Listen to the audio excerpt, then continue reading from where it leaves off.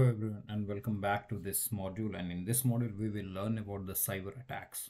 So mm, uh, might be some of you are aware of the term but a cyber attack is an assault launched by cyber criminals using one or more computers against a single or multiple computer or network. So this is the basic definition of cyber attack.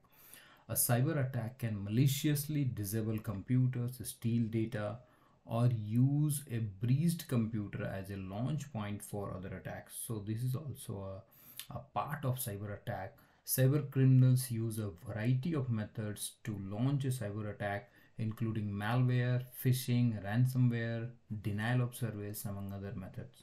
So this is the definition of cyber attack. So any type of usage of the infrastructure which is inside the plant or inside the organization and that is being used for their personal concern, personal advantage without the authorized or we can say unauthorized access of those critical systems or any system which has some information, which has some data, which has some control of the systems that that is a type of cyber attack. So in our case uh, basically dcs plc or scada or building automation system or iot network. So anyone if accesses those things to with a, some different motive to destroy or to make an impact on the organization or to make financial loss or to make health and safety impact uh, then that is uh, a cyber attack. So cyber attack scale can be a very minute to a big ones also. So we have some of the cyber attacks uh, happened in history. So we'll discuss some of them so that you will get understanding of the cyber attacks like how it looks and what what happened actually in a cyber attack. So if someone asks you like what is a cyber attack you can give some of the examples which already had happened in past. So let's go for the first. This is worcester air traffic uh, communication. So in March 1997, a teenager in Worcester, Massachusetts, uh, disabled part of public switch telephone network using a dial-up modem connected to the system. So he accessed that network with an already connected dial-up modem.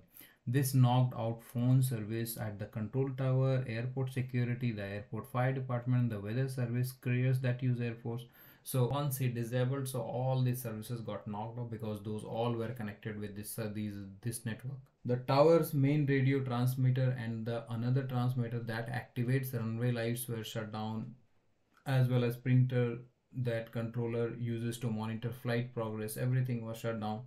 So the impact of this attack was like the attack was knocked out phone service to 600 homes and business in a nearby town of Rutland so you can see like just a teenager with a basic knowledge and he did a, such a big uh, impact. So this happened in really very old uh, time. So in 1997 this was the first type of attack happened uh, with a, such a quant that knocked almost phone service of 600 homes.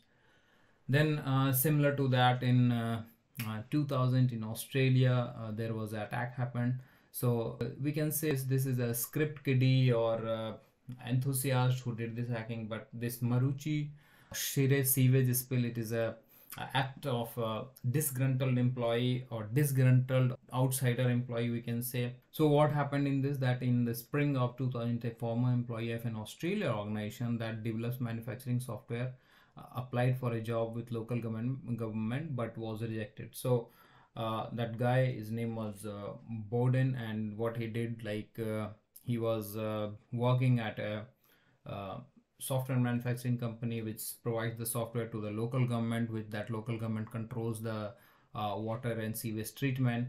But however his application was rejected by that local government so he became disgruntled. And then what he did over a two month of period the disgruntled employee rejected employee reported uh, reportedly used a radio transmitter as many as 46 times to remotely break into the controls of sewage treatment system. And, and once he got access to those systems because he had already the knowledge of this manufacturing software so he he was uh, well known about how the system operates. So he altered electronic data for particular sewage pumping stations and caused malfunctions in their operations. So what was the impact? Impact was very huge. So impact was around release of 264,000 gallons of raw sewage into nearby rivers and parks. So this had a great impact on the environment. Many uh, marine species died and uh, there was a like foul smell and the complete area was quite polluted and it was unlivable for some time so this was a very huge impact and this was just just done by a single employee next to moving in the progress on like in july 2010 there was a uh, iranian centrifuge stuxnet attack. So i think stuxnet has been used in almost all the cybersecurity trainings so this is a prominent attack what happened in history. So it was a microsoft windows computer worm discovered in july 2010 that specifically targeted industrial software and equipment.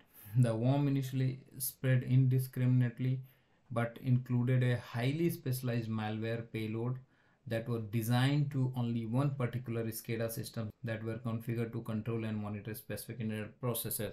So in this attack also the impact was very huge. Many 10,000, almost around 10,000 mechanical centrifuges were damaged. So uh, the attacker tricked the operators with the false RPM in the control room and in the field the rpm was way high and way low. It was changing so that mechanically stressed those centrifuged and they were damaged. So this was done using a laptop. So there was no any internet connection to this site but uh, this was a nuclear facility so there was no any internet connection directly but this was done by also bypassing the physical intrusions physical uh, barriers what we implement in the plant. So this was a major attack after this attack, the world started paying attention to cybersecurity of the ICS. Then again in uh, 12 and 14, two major attacks happened. So in 2014, it was a German steel mill attack. So what the hacker did here, hacker manipulated and disrupted the control systems to such a degree that a blast furnace could not be properly shut down, result in massive though unspecified damage. So impact of this attack was not published publicly so or, or it is not available readily. That's why i didn't include it here. But uh, in this attack also what they what the hacker did like they did not let the boiler shut down properly and it will have the results. So like we studied earlier that safety instrumented systems they guarantee the safe shutdown of the plant if something happens. So they manipulated the control system to uh, evade that logic and to malfunction that logic only. So this is the one attack. Then Shamoon is a attack which happened in 2012 and Saudi Aramco experienced a malware attack that targeted their refineries and overrode the attack systems master boot records partition table and other data uh, files this caused the systems to become unusable. So this was a direct attack on the operating system of the plant and directly on the master boot records partition table data files. So so at the kernel level and at the uh, boot level this attack happened. And what was the result? That systems will become unusable and it had the production impact as well. So these are some of the attacks what we discussed now I think there are two more important attacks what uh, which happened recently. So one was like New York Dam attack. It happened in 2013. So an Iranian computer security company obtained remote access to a computer which controlled the SCADA system of Bowman Dam located in New York. So Iranian computer security from Iran they attacked they got the access of this SCADA system which was controlling the Bowman Dam located in New York. The adversary was able to view water levels, temperature and status of sluice gate. The sluice gate control was disconnected for maintenance at the time of adversarial remote access. So dam could not be controlled. So this was a mere coincidence that gate was uh, in maintenance and it was disconnected and uh, so so no command was uh, taken and given so unless if command was also given that was in maintenance so it was isolated from the control system so no major impact happened in this but though this was a hack which happened. Uh, recently in uh, december 23 2015 also there was a ukrainian power grid. It is also known as black energy 3 attack. So ukrainian power companies experienced a cyber attack causing po- power outages which impacted over 225000 customers in the ukraine. So this was one of the first type of attack on the power uh, companies so over 50 regional substations experience malicious remote operation of their breakers. So breakers uh, started operating. Kill disk malware were used to erase files on the target systems also. So there was one malware which uh, started erasing the files on the target system including at least one windows based hmi the actors also corrupted the firmware of serial to ethernet devices at substations.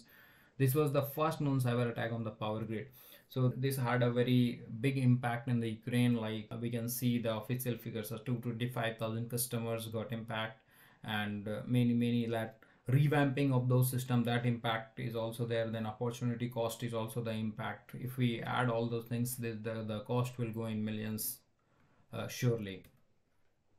Then again in 2016 there was one power grid attack happened and the, that was the Industroyer we say so in december uh, 17 uh, 2016 a cyber attack occurred at a substation outside kiev the impact was an outage for customer of one substation for approximately one hour. So this attack was uh, only only one hour we can say and it was a minor one.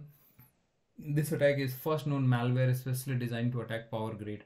And and very lately this uh, colonial pipeline attack happened and that was in may 2021 so this, this over the 5500 miles of pipeline transporting more than 100 million gallons per day of the refined product to east coast of the US shut down operations because of the ransomware attack. So this was the new uh, what happened in May, like almost 5,500 miles of pipeline, uh, which carries almost 100 million gallons per day of refined product to east coast of US shut down operations because of ransomware attack. So this was the ransomware attack. Colonial Pipeline was victim of ram- ransomware cyber attack, which encrypted their systems IT systems by exploiting a legacy VPN profile. So uh, there was a VPN profile and uh, Colonial Pipeline also decided to pay the ransom to cyber criminal group DarkSide in order to have all possible tools, including the decryption tools, available to bring Pipeline back to online.